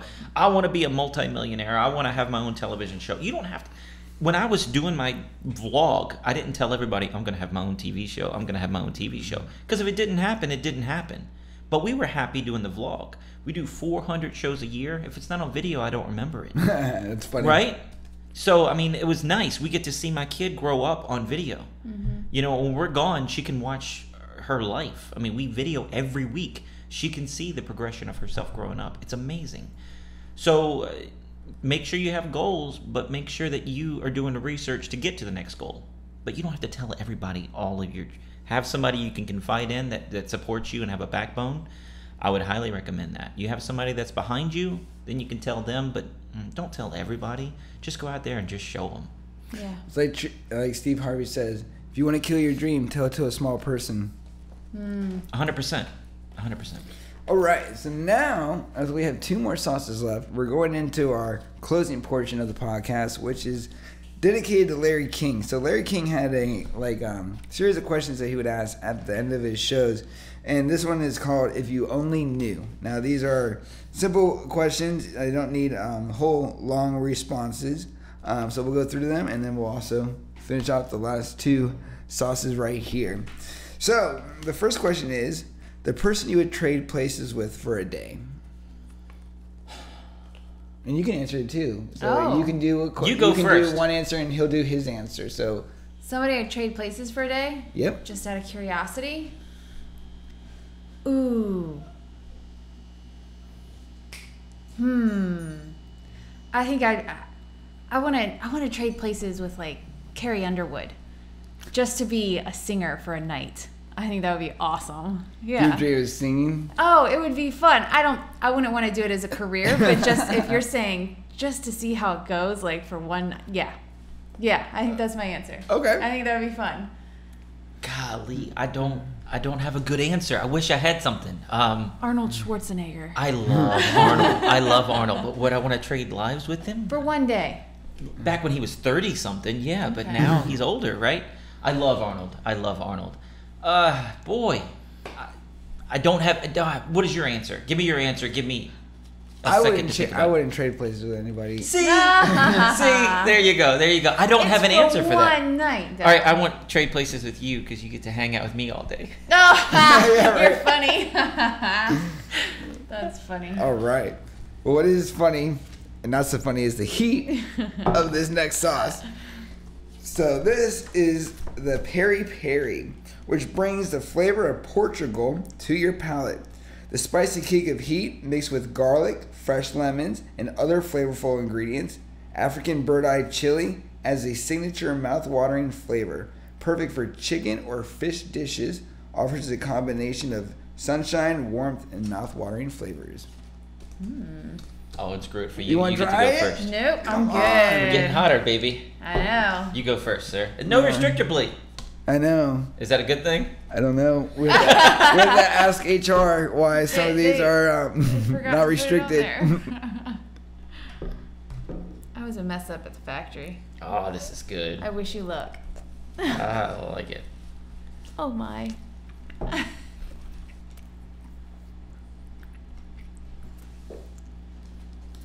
See, it would be oh my if it was straight heat going to your mouth and you were just gonna catch on fire right away.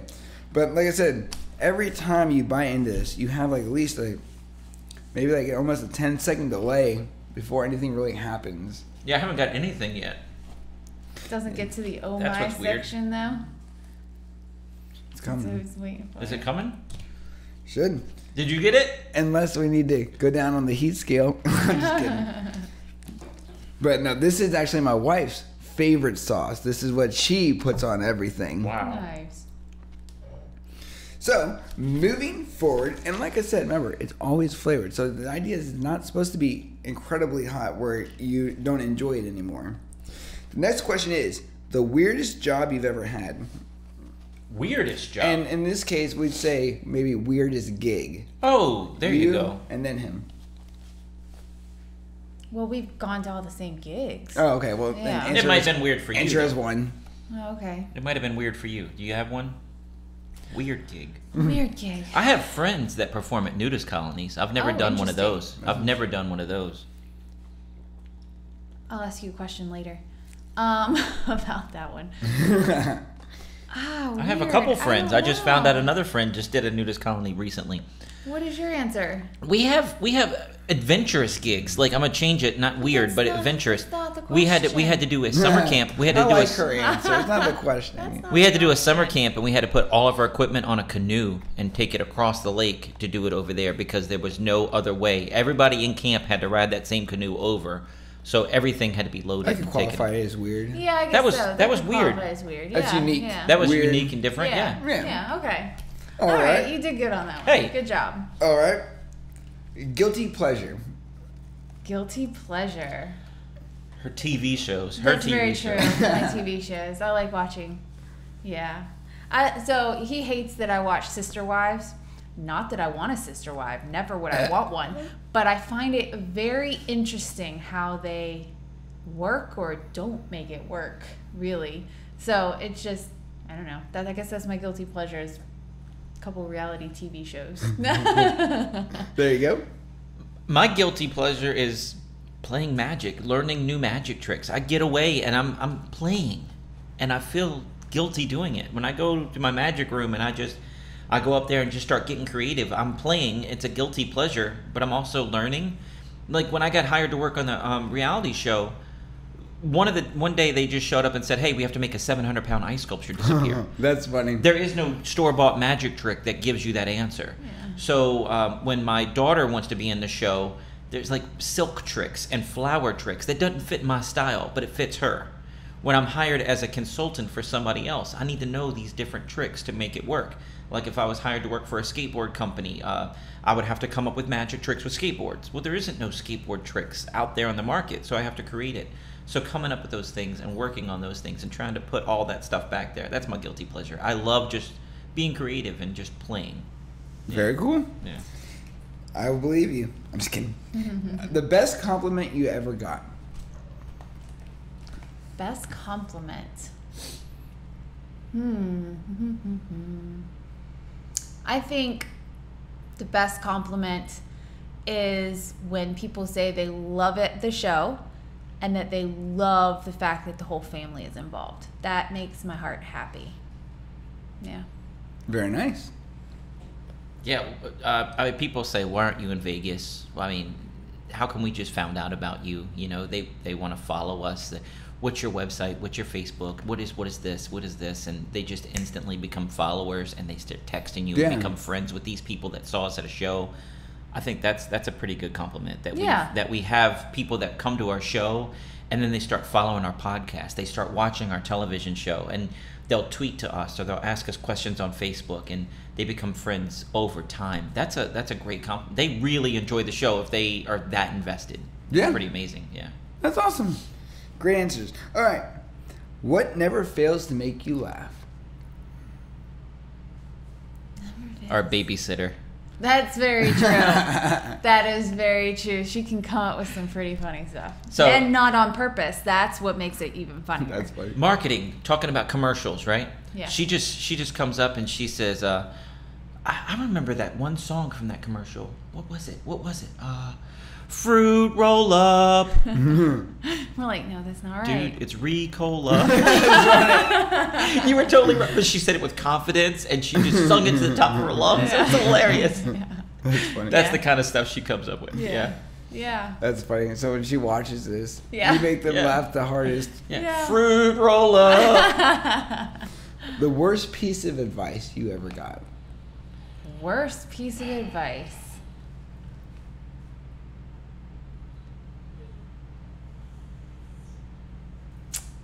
Uh, go to college. wow wow Yeah. Get a get a real job yeah. yeah Yeah. yeah I didn't want to go to college, but I did because that's what you're supposed to do, right? So Yeah. and I've done absolutely zero with it. So Yeah, she graduated and said, "Can I come work for you?" I'm Right. like, "Yeah, I'll put Yeah, you to work you in the office." Yeah, yeah. And then it's my girlfriend, so I'm taking her to the shows with me, and then slowly just got her in the show, and she books the shows for me. She's my manager. She's my agent. She takes care of me. She books the shows. She does everything. Yeah. So Not she- saying that I didn't have some fun at college, but I didn't need to go to college because that's not that's not where my life it went. didn't help you with your career. Right? No, it didn't, and I don't think that's you know I don't think that's everybody's path either. Yeah. So whereas it used to be, you know, every you're told you graduate high school, go to college. Not necessary. And Yeah, she has and- a religion degree. So Right. yeah. Yeah. Well, and also too, a lot of times you go to college and you come out and you know you're in debt. So now you're already in debt. Now you're trying to get, you know, depending on what you're doing, either like a residency or you know, like an internship or whatever. So you have no money coming in. You know what I mean? I think, you know, okay. So I think that co- there, college is right for like the right people. Like if I ever had a brain surgery, I really hope that guy went to college. Yes. You know what I mean? Yes. If I had my heart transplant, really hope he went to college. Right. The guy that takes the, the trash from my house, not so worried about it when he goes to college. The guy that serves me the coffee at the coffee store, not worried about it. You know what I mean? Right. And that's the thing, you know, it's there's a time and a place, but I think now in today's world, it's more about the ability to be creative is what will really get you success, you know, and thinking outside the box and adding value. When you can change somebody's life like you guys do, whether it's spiritually, mentally, physically, that is the ultimate way to become rich is um, helping other people. And they can be in a wide range, you know. And that, like, if you look at some of the top people like Elon Musk or Jeff Bezos, they're all finding ways to change the world, make it the world a better place, easier place, you know, more functional. So um, when you have things like that, I think it plays a big role, and that's something I don't think that college is going to teach you. This is something that really comes within, you know, like that calling. You know what I mean? So, 100%. Yeah. Yeah. Yeah. So speaking of calling, we need to call this Signal One because this is our last sauce.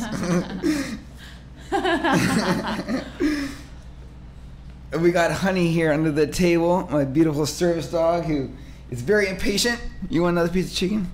She's my new best friend. Uh, She's everybody's best friend. She's so sweet. There you go. She is. She is a sweetheart. And if you want a sweetheart, Stafford County Animal Shelter has tons of dogs. We do free videos for them every week to Oh, help with the dogs getting adopted. Um, and I'll show you. We make little dog stories. So what we do is we take the bio of the animal, and then we use an AI voice, male or female, depending on the animal. And it's like the animal is telling you about themselves. So they're introducing you, and Oh, then they so have cute. all like the B-roll of the dogs running around outside. So instead of just like a picture, now you get to learn a bit, a little bit about the personality, and it gives like a really great persona. Because now you can see the dog. Oh wow, you know, it loves being pet, loves running around. You know, so Yeah. That's awesome. That It's is really cool. neat. Yeah, I like that.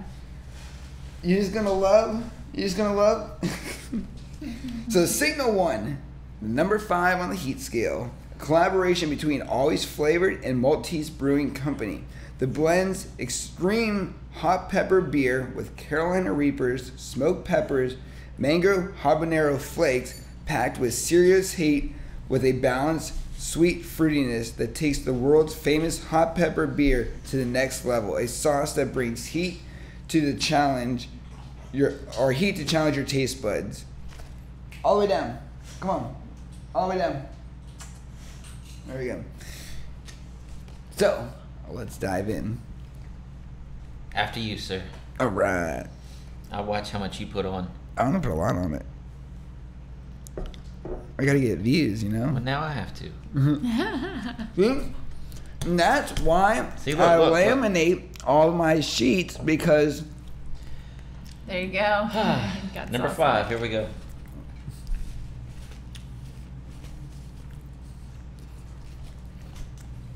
now he does turn on a little bit faster on this one. This is not really like a delay, but it is delicious, and it's something that you can still handle. It is hot, but it's not like one of these like um, taco chips where you have to like sign a waiver and it says like yeah you're gonna be messed up for the next couple of days. Oh gosh. We saw no waivers today. So you can obviously taste the heat. It is there. Are the hiccups coming? I don't have hiccups yet. That's my thing. I get the hiccups if it's really, really, really spicy. No. No. Wow. Was it? Did something else actually kick out my? Maybe because you built up Yeah, to it. yeah. Maybe Yeah, that's what right. it is.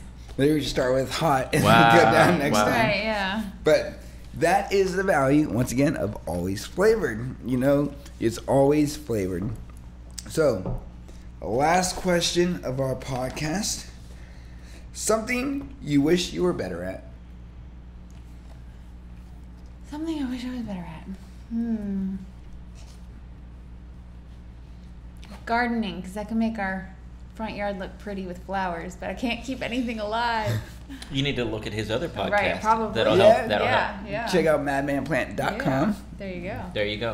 Um, uh, learning the equipment for a podcast. Ah, I can't never get her levels right in our podcast. So I will help you out with that. There you go. I want to be better at that. That's something that's been killing me. Uh, we're four seasons in, and I'm always putting the microphone closer to her, messing with her levels. Yeah. yep.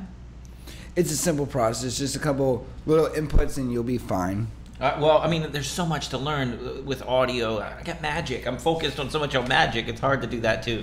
But I, that's why we have collaborations. I can right. ask you questions. Yeah. Yeah, you've been doing magic for how long now? Since I was seven years old. See, and I've been doing this for 14 years. We're in good shape. There you There go. you go. Yeah. There you go. So as we wrap this up, how can people obviously find you, and you know what should they expect going forward? Going forward, more of the same. Um, I don't think we have anything major announcement wise planned No coming up soon. No movies. and, No like, movies, anything like that. Nobody's I gonna mean- play you in a movie. Not yet. Season four of our television shows in syndication across the country. It's Wes Iseli's Magic Life. Um, if you have Roku or or what is the other Amazon Fire, it's on a couple different channels. You can find links to that on our website, wesiseli.com. Um, that's W E S I S E L I dot com. Uh, Facebook, Instagram, you name a uh, social media platform, I'm on it. So under uh, Wes uh, Wes Underscore. underscore Iseli on Instagram. Yeah. See, that's why she is here. well, it's starting to burn. My tongue's starting to tingle. The heat does come on slow. It is really slow. I'm feeling it. Yeah. yep, and you still haven't touched your water yet. No, it's good. Well, this is perfect. I hope you guys enjoyed this podcast. We're gonna have plenty more. Thank you guys so much for being on the podcast and speaking with me and having fun. Thank you for the magic tricks. This was awesome. Dude, I had a blast. This was a lot of fun. Thank you. Really? Yeah, thanks for having That's us. awesome. Yeah. Yeah, you guys are number four on the po- yeah number four on our GoodLuckStef podcast. So I really appreciate it. And if you guys want to tune in more, make sure you go to goodluckstef.com, all of our social media, and we'll see you guys next time.